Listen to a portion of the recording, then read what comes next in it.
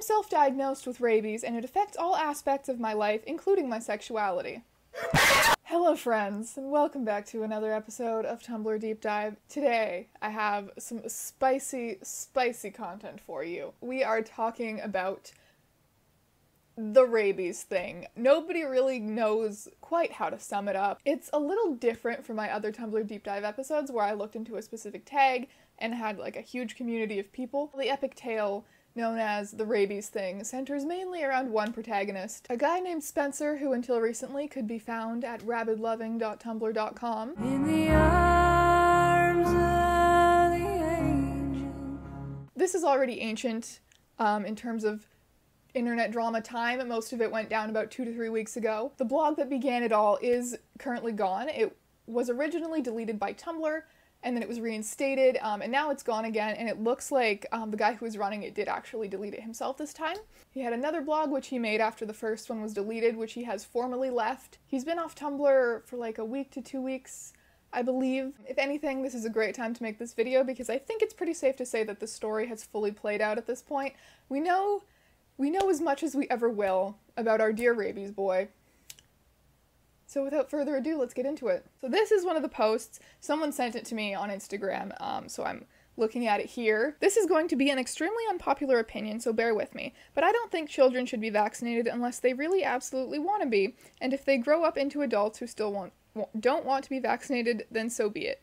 Kids are too young to fully grasp what vaccination does to you, and I don't mean that in a they'll make you autistic and die way. I mean, they don't understand.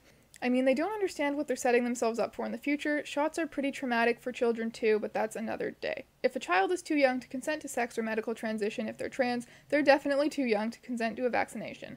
I haven't had any contact with my family for quite some time now so I have a hard time knowing my medical history. Because of that, I live with the constant fear that I might have been vaccinated against rabies. It's fucking heartbreaking to know I might never be fully rabid because my parent might have vaccinated me as a child, but I was too young to know, too young to have a say in it. How many other kids are there just like me? How many adults have grown up miserable because they've been vaccinated against their genetic disposition for a certain disease? It's practically eugenics and it makes me sick to my stomach. There are babies right now getting vaxxed because that's what's healthy for them, and their parents have no idea how much grief they're causing right now. So yeah, maybe stop vaxing your kids. So this version of the post has a bunch of reblogs on it. One person said, when I said I was so desensitized to Tumblr I couldn't be shocked anymore, I didn't mean it as a challenge. This is what the blog looked like at the time. So that was the first post I think that started getting this guy a lot of attention. And we still technically don't know if he was just taking the joke super far or if this guy is actually really mentally ill. Let's delve a little deeper, shall we? Here's my take on the rabies pride flag, since the popular one is a joke. I like the colors a lot on the old one though, so I reuse them, this time with more meaning slash thought. Here's what it means. Black represents death, something a lot of rabiosexuals struggle with the thought of. Gray represents decaying meat and rot, as well as the animal most typically associated with rabies, raccoons. White represents teeth and biting. The white also symbolizes how anyone can be rabiosexual, and rabies can affect all genders. Red Blood, disease, and the transmission of disease. It's like a red tongue since rabies is passed through saliva, while white and red are also placed in such a way that it looks like a set of teeth and the inside of a mouth. Anyone is free to use this as long as they fall within the virosexual spectrum and or are rabid. My rabies story. I have always had a particular closeness to the concept of rabies and identified as rabio-romantic before my diagnosis. I decided for the sake of my mental health I would become infected. This past year, I met a girl online who was born with rabies and said she could infect me. We met up this past June, excuse the TMI, took part in BDSM sex. She bit me really hard on the shoulder until I bled, and I've had rabies ever since. Are you going to infect other people? Not unless they really want to. I currently curb my biting impulses by biting into raw steaks, so I'm fine and safe to be around. I tend to also be attracted to non rabies people since it's basically my illness's goal to infect other people. It's only romantic though, not sexual. Okay. So ever since these these posts started getting attention, people have turned the whole rabies thing into a bit of a meme. Rabid loving deactivated and I'm fucking mourning. Honestly, same. You will be missed, rabies boy. Rabies pride stim board. There's just like a raccoon gnawing on someone. That's lovely. Oh, so lovely. And that's the that's the rabies pride flag. This is the one that was made as a joke, I think, because it's not the colors aren't the same as the other guy arranged them. So I'm pretty sure that's the incorrect rabies pride flag. I saw a post again. I've I've had to look through this more than I've ever looked through any other thing for Tumblr deep dive because it's just so convoluted. So I saw a post where someone who supports Rabies Boy was bitching about it. Like you have to use the right Rabies Pride flag because the other one was created as a joke. Rabies Pride icons like every reblog of using. They all have rabies. This blog is a joke. Please don't try and get rabies, you fucking idiots. Emoji spell to get rabies soon, like to charge, reblog to cast. Oh, we've seen these before on my witchcraft Tumblr deep dive. Tumblr, horrible disease. Is this a sexuality? So yeah, then there's these your fave has rabies type blogs. They just kind of Photoshop characters in front of the rabies pride flag and are like, this character has rabies. And they're still not using the right rabies pride flag. God. Okay, rabies safe zone. Please give me rabies. I want to be infected so bad. Icon by me. Satire. Hey, a general rule on my blog don't interact if you're a TERF. Rabies safe, but not TERF safe. That's not how viruses work. Rabies isn't a virus, it's a sexuality slash identity. Welcome to the year of our Lord 2018. Let's delve a little deeper, shall we? So, someone started a Twitter to try and document the timeline of the rabies thing. All credit uh, to whoever runs the rabies diaries on Twitter uh, for this little explanation. So here are our key players. Spencer, 19, cis, rabio romantic, gray bisexual, in Canada but US born, allegedly. Anthony, Spencer's boyfriend, also wants rabies.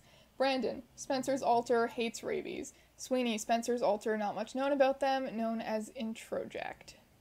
Clova, Spencer's alter, 14, and likes anime. Alter, I believe, is the term for the alternate personalities of people with dissociative identity disorder. His blog is run by different identities in different intervals. Um, so it's a lot. So Spencer has said that back in June of this year he was infected by rabies by a girl biting him. He also said that ever since then he has been rabio romantic. Now, July 25th, Spencer makes his blog implying that he had a more popular bo- blog pre- blog previously. So this blog gets traction after like making a post about rabiosexual slash rabio romantic stuff and this is where things start to pop off. So, July 27th, Spencer, after being allegedly egged on by Anthony, went into the forest and got bit by a raccoon to get rabies. Apparently, Spencer knew this raccoon had rabies and got bit with the help of Anthony. Spencer posted pics and they looked really fake.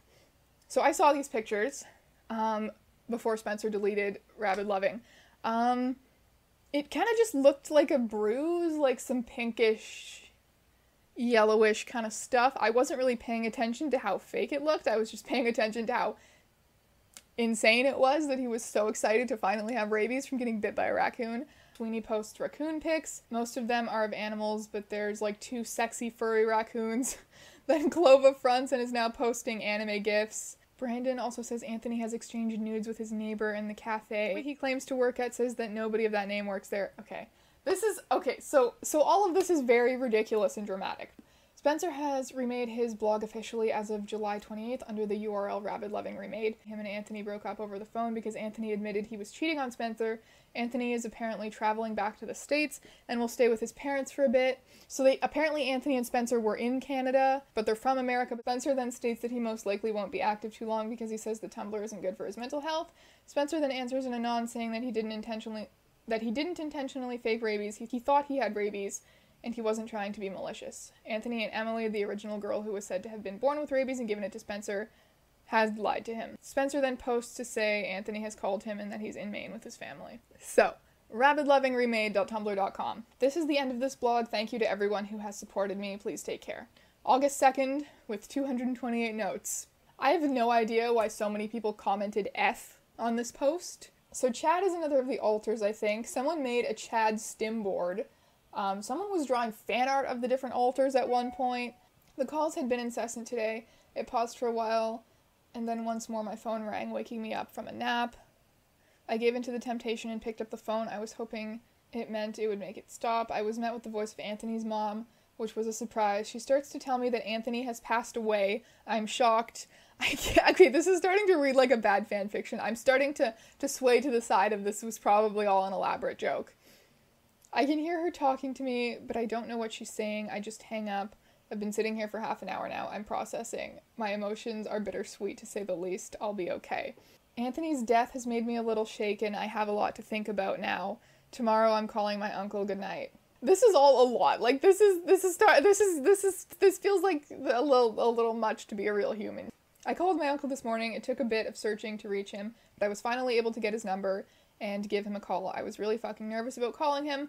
As I haven't spoken to a single family member in so long, I was mostly just expecting him to hang up on me. We ended up staying on the phone for half an hour. I explained what I've been through in the past year and broke down crying. He was really understanding about it. He said he's going to help me take the steps I need to move back in with him in the States. I feel like I've been through so much in the past week alone, and while I've tried so, so hard to strive for recovery, it's still hard. But for once in a long time, I'm relieved and it feels really great.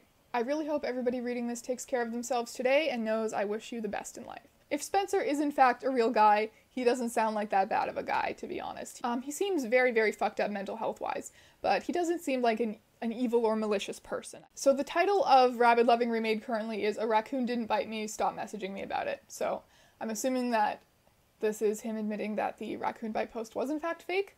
I'm looking through the archive and like all of the Anons. Apparently one of the alters like murdered the other ones at some point. And then there's some art that someone did of like reposting my fursona for Anon. Uh, you know, when you draw your fursona holding up a fuck your ex sign when you break up. Hashtag relatable, am I right, kids? I hate this stupid fucking website. My blog before this one got terminated because so many of you stupid fucks just had to report me. I'm not even hurting anyone, you absolute doofuses. At Rabid Loving 2, can I have your URL ugly or are you just gonna keep pretending you're me? Okay, let's. Rabid Loving 2. So yeah, this person has the same av- avatar that Rabid Loving had. Rabies is valid, you homophobes. No, you homophobias. Wow, okay. We're gonna assume that this one's satire. Love it. Cute rabies. Hey, can you leave Spencer alone? It's not funny pretending to be him. This whole situation is hilarious. So yeah, this person's kind of just memeing on them um, by taking the URL Rabid Loving too and using the same avatar. I mean, what do you expect? Like, of course, like it's Tumblr, it's the internet. Of course, someone's gonna do that. But I think what this message that was sent to them shows is that regardless of whether Spencer was a real person, I believe that the people supporting him are real people. Which brings me to this right here. Hi, this is a fan blog for Rabid Loving Nero 19 male. Okay, so I made a Discord server. This is for both rabid people and non-rabid people. It's kind of just a get together of the rabies community and people who like my blog. Anyone is free to join, help yourself. So they reblogged the the Chad stim board. As number one Chad fan, I had to make it. Oh, they made did, no, they made it. They made the Chad stim board. Okay. They also made this other little rabies stim board, mood board, whatever it's called. Wait, so I'm very confused. Is this really just a joke? Do you actually condone the self destructive fascination? Did you start this blog as a joke and then find yourself endeared by these people? I don't understand. So they said the third one. So they started this blog as a joke and then found themselves endeared by these people. Hi, um, what the fuck is this shit about? Do you actually think rabies is okay? I'm just wondering. I can and will get rabies. Satire. Okay. I know that this person has said that they're not actually into rabies. They just support the rabies people. So you want to have sex with people who have rabies not rabiosexual or romantic, I've said it 50 times, but go off. This user has been banned from the rabies server. Please, please tell me if this is a joke or not. I'm actually sobbing. Why is your art so nice, but you're using it to draw fucking rabies? I'm so confused. I'm crying in the club right now. What the fuck is going on? Help me, Jesus. Joke taken too far. Now I'm rabies famous. Okay, so this person is joking as well, or was joking at the beginning and is no longer joking. But there are some people out there defending Spencer, whether he's real or not, who were not joking. Everyone is just terrified and fascinated by this situation, essentially. I survived the rabiosexual epidemic of 2018. Fucking relatable. The story of Rabies Boy, aka Spencer, is bad fan fiction tier. And it's probably not true. Regardless of his own realness, there have been at least a few people convinced that his feelings were valid. But there are exponentially more people turning him into a meme. And honestly, it's a pretty good meme. Thank you ever so much for watching. As always, don't forget to follow me on social media if you enjoy my dumb face. And I will see you very soon in another video.